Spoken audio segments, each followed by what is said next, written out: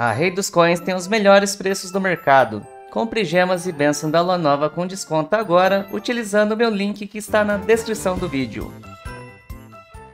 Alô! Salve, salve galera, beleza? Sejam bem-vindos a mais um vídeo Genshin Impact. Eu sou Japeta, começamos aqui os testes no Kinishi. E hoje eu vou mostrar para vocês aqui é, uma comparação entre as armas. A arma aqui dele, né? Presa do Rei da Montanha e a arma do Ferreiro. Eu tenho ela aqui upada no R4. Eu só não pus no R5 porque eu vou ganhar uma lá na com selo Pyro, aí eu não queria desperdiçar, né? Mas ela vai estar R4 aqui nesse teste, beleza? Essa arma é muito boa, tá? Então, já vou falar aqui que, né, dar um spoiler, não compensa, tá, gente, você pegar essa arma aqui, porque a diferença... Vai ter diferença? Tem, tem diferença. Mas é uma diferença que, mano, sinceramente, acho que não vale tanto a pena. Ainda mais que, pô, você vai gastar gema aqui, né? E essa arma aqui é grátis. Todo mundo tem acesso a ela. E aqui você pode gastar muita gema e não pegar nada, né? Mas enfim, se tiver essa arma, usa. Ela é muito boa. É a melhor arma pro Kinish. Mas eu vou mostrar para vocês a diferença dela aqui pra arma do ferreiro R4. Ok? Nosso Kinish vai estar aí com 2.380 de ataque, 60 215 com o buff do artefato vai para 100% de taxa, 0 de recarga. Arma presa do Rei da Montanha. Códice de obsidiana, ataque, dano dentro, dano crítico, C0 199. Então beleza, vamos usar esse time aqui. O Bennett para buffar aqui com Falcão e Ritual Real. Vai ter o buff também da Memórias da Floresta que eu vou usar na Dérria. Então ela vai dar um buffzinho também aí, né? Que vai tirar a resistência dentro. Aqui o último personagem não vai fazer diferença, tá, gente? Porque a Emily é só dano, né? Ela não vai dar nenhum buff aqui pro, pra aumentar o dano do Kinish, beleza? Então ela tá aqui só pra completar o time mesmo. Se eu quisesse colocar alguma coisa pra aumentar o dano, eu poderia pôr, tipo, sei lá, Furina, né? A Yao Yao dá dano dentro, sei lá, alguma coisa assim. Mas acho que é, se fosse uma, uma comp séria, a Emily seria uma opção melhor, porque ela no burn ela causa um dano legal. Beleza? Então vou deixar assim. A Emily, como eu já disse, né, não vai fazer muita diferença, só os outros que vão buffar. Ó, eu vou. Eu não vou no abismo, gente, porque o abismo tá mentiroso, tá? O abismo tá com buff de 80% no dano, no dano de habilidade elemental. Então tá muito mentiroso os testes lá, tá? Então vou, tentar, vou fazer um teste aqui em mundo aberto pra né, não enganar muito ali. Sem os buffs e tal, fica melhor, né? Ok, então bora fazer aqui o primeiro teste. Primeiro eu vou com a arma dele, tá? Vamos testar umas 3 vezes só pra ter certeza, né? Vai que eu faça alguma coisa errada na rotação. Então, ó, vou dar um E da Derria, o E ult da Emily, o E ult do Bennett. Aí eu vou dar o E ult do Kinish e vou dar um, porra, um porradão. Um porradão, pum, 162, 149. Aí, ó, 162, 149. Vamos tentar de novo. Eu vou usar sem o ult da Emily aqui, que eu tô sem. Vai. De novo. E sem ult do Kinish, né? Também tô sem. Olha lá. 199. Não vi. 164. Será que aquele primeiro... Quanto foi que eu não vi? O editor, o editor viu aí, o editor viu. Eu acho que é por causa da arma. Essa arma aqui, ela, ela ativa uma vez a cada dois segundos esses aumentos na habilidade elemental. Por isso que tá fazendo essas diferenças aí, eu acho. Acredito eu. Vamos tentar mais uma aí.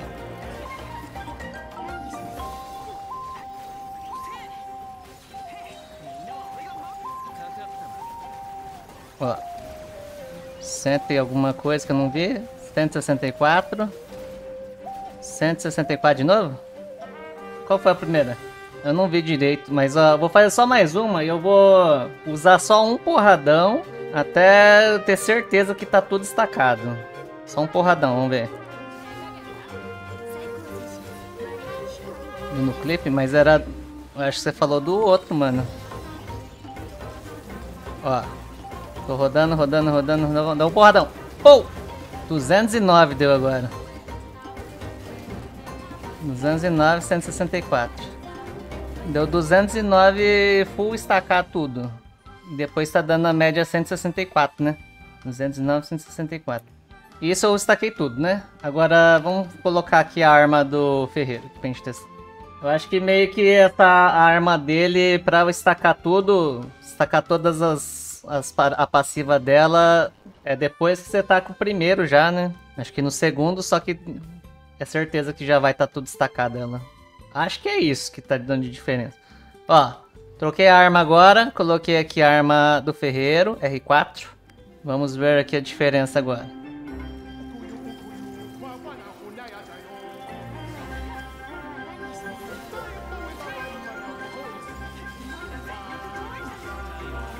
Ah.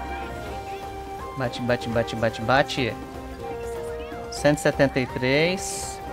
135. 173. Então, eu acho que foi isso. 173, 135. Uh, vamos tentar mais uma. Vamos mais uma só pra ter certeza. Deixa eu olhar também aqui a passiva dessa arma aqui. Ó, essa é mais fácil de ativar, ó. É só dar uma reação, pronto, já aumentou a, o dano da habilidade elemental em 20, 28% no R4, acho que no R5 deve ser o que, 30% aqui? Não sei, 30 e poucos por cento, mesmo fora de campo, tá bem fácil de ativar ela. Ok, 36, tá, Ó, vamos lá de novo então, mesma rotação. Agora eu tô sem o último, mas acho que faz diferença. Ixi, eu não consegui enxergar. Não gritou? Como assim, velho? 136. Eu não consegui enxergar, vou fazer mais uma aqui.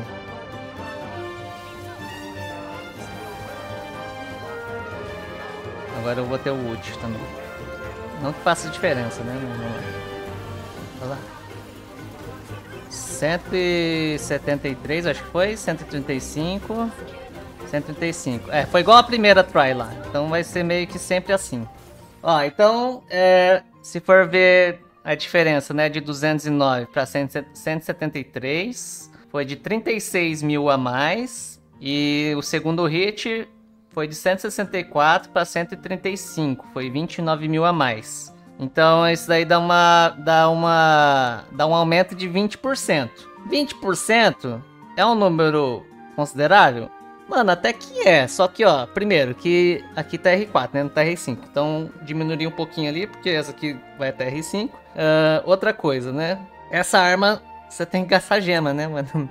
É uma arma que custa gema. E essa aqui é totalmente gratuita. Então, aí vai da pessoa, né? Se quer gastar gema ou não. Eu acredito que com a arma free to play já dá pra usar tranquilamente aqui o Kinish. Eu acho que não precisa da arma aqui dele. Agora, para terminar o vídeo, vamos fazer uma run aqui com Kinish de arma free to play. Eu nem vou usar a Emily, vou colocar outro char aqui pra... Porque a Emily, acho que muita gente não tem, né? Vou tentar usar outro personagem aqui. Ah, é verdade, o cara falou uma coisa que é importante lembrar também, né? Porque lá na, com a arma do Kinishi eu tô com 100% de taxa, né? Aqui eu tô com 89, então eu tô perdendo 11 de taxa aqui né? O que, o que diminui um pouco o dano médio. Mas acho que não vai fazer né, tanta diferença assim também não. Mas é importante lembrar. Ó, no caso, nesse teste eu vou usar o Kinish com a arma Free to Play. Bennett vai estar tá de ritual. DR vai estar tá de Milelite. Eu vou usar o Yao Yao ao invés da Emily. A minha tá C4. Com a lança de Favones aqui, Memórias da Floresta. Beleza? Vou, deixar, vou usar o Kinish na parte de baixo. Bora, Dali! É, aqui lembrando que tem um buff lá da sala, né? Mas eu vou tirar esse... Eu não vou pegar buff de... Que aumenta mais nada, não. Vamos lá. Aqui, no caso, eu tenho que... Eu acho que tacar DR primeiro? Acho que é DR primeiro, né? Assim, assim, assim, assim, assim...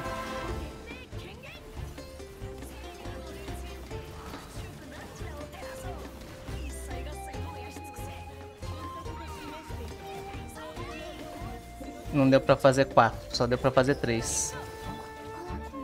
Vocês perceberam que tem uma coisa ruim nele aqui, né? Dependendo da posição dos bichos, o ult do Bennett ali vai ficar lá na, lá na PQP, mano. Não é? O ult do Bennett ele fica parado e o, e o Kinish fica andando pra caramba, mano.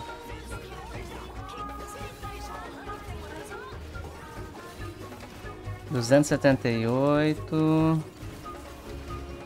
208 Nossa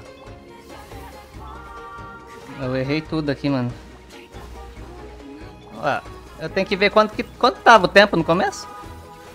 Foi 7h28. 8h34? 8h48? Ué, cada um fala uma coisa? Falaram 8h48 aqui, então foi 1 minuto e 20. Isso que eu, a gameplay deu uma erradinha. Então, tá bom, né? Dá pra fazer de boa aí, com um time bem, bem suave aí, com armas 4 estrelas, né? Bem tranquilo. Vamos, vamos ver a segunda, segundo piso agora.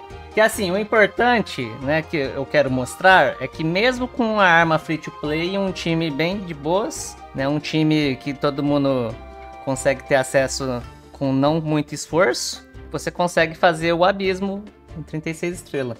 E lembrando que ainda vamos ter a Mavuica, que muito provavelmente vai deixar mais forte ainda esse time, né? Aí você poderia colocar a Mavuica no lugar da, da Derria, por exemplo.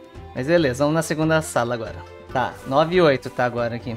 Na hora do Mago Ken que eu vou esperar ele teleportar e aí eu vou tacar tudo, tá? Vou tentar fazer desse jeito aí. Vamos lá. Vambora.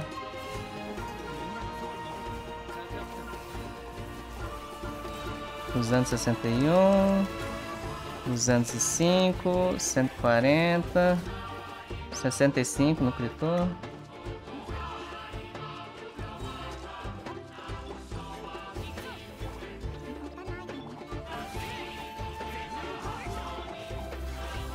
Não vou tacar ult agora não.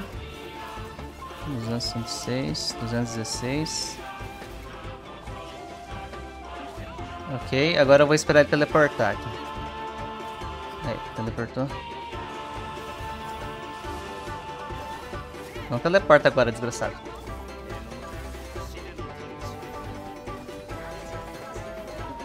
Ih, ele errou o exame. É, contra o Mago Ken que é meio chato, hein? que ele fica se mexendo, velho. Contra bicho que se mexe, parece meio chato, ó. Assim, dá pra relevar, né? Se você esperar ele teleportar pra depois usar o Ezão, dá pra relevar, mas... Vocês viram que, né? Pode ser que atrapalhe um pouco. 7,50, né? Tava 9,8. Então foi 1 minuto e 18. Ah, tá de boa, hein? Se fizer menos de 1,30 já tá, já tá na média ali para fazer 3 estrelas, né?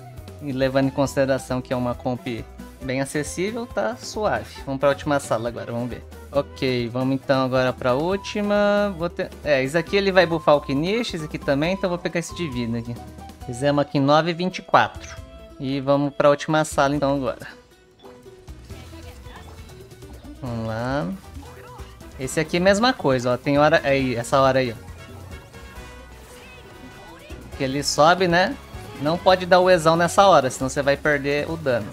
Né? Tem que ficar esperto. Ó, só consegui dar 3.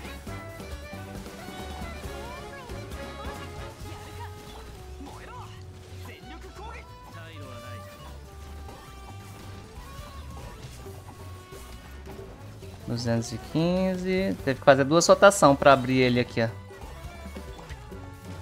Foi duas rotações aqui com... Pra fazer ele ir pra segunda fase.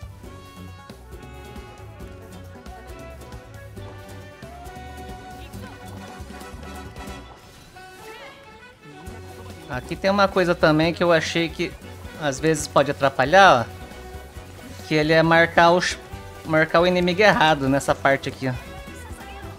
Olha lá. Tá vendo?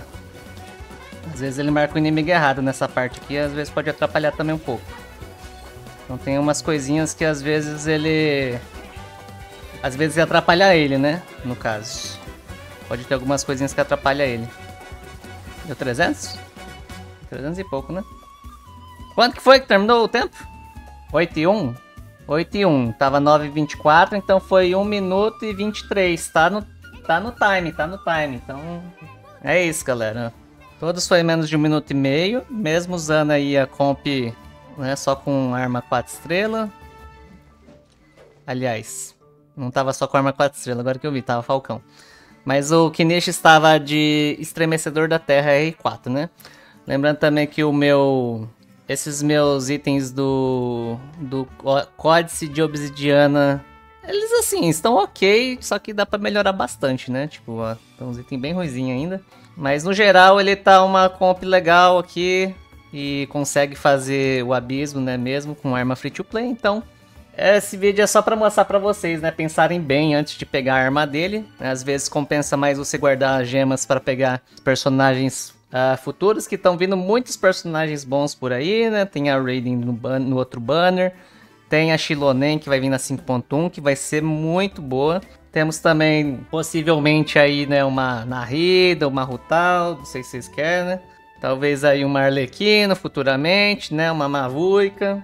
Então, essa é minha dica para vocês, tá, gente? Consegue usar de boas aqui essa arma sem precisar aqui da arma, da arma dele, tá?